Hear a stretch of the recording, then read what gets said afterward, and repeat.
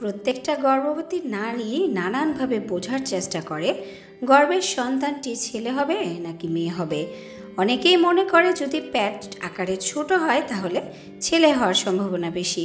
অনেকেই আবার নাভির ধরন দেখে বা তলপেটের নিচ থেকে প্যাট অবধি হওয়া কালো দাগটা দেখে বোঝার চেষ্টা করে, ছেলে সন্তান কিনা মেয়ে সন্তান। আমরা এই সকল প্রশ্নের উত্তর পেয়ে যাব আজকে এই ভিডিওর মাধ্যমে। আশা করি ভিডিওটি দ্বারা আপনারা উপকৃত হবেন। ভালো লাগলে চ্যানেলটিকে সাবস্ক্রাইব করে বেল বাটনটি অন করে নেবেন। অনেক পুরনো একটি পরীক্ষা রয়েছে। আপনার গর্বে যদি ছেলে বাচ্চা থাকে তাহলে আপনার ভুঁড়িটি নিচের দিকে ঝুলে যাবে।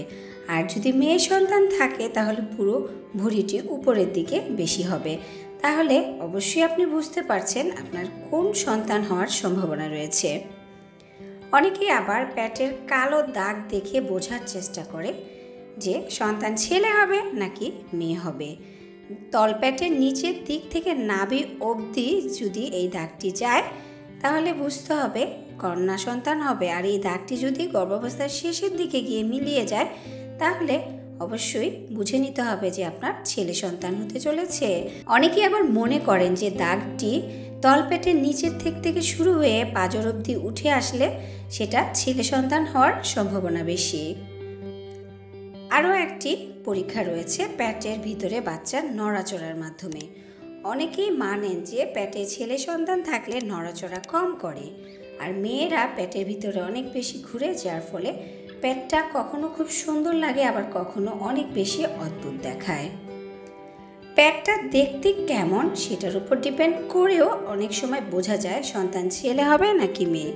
প্যাটটি যদি তরমুজের মতো হয়, তাহলে বুঝে নিতে হবে প্যাটের সন্তানটি কন্যা সন্তান হতে চলেছে।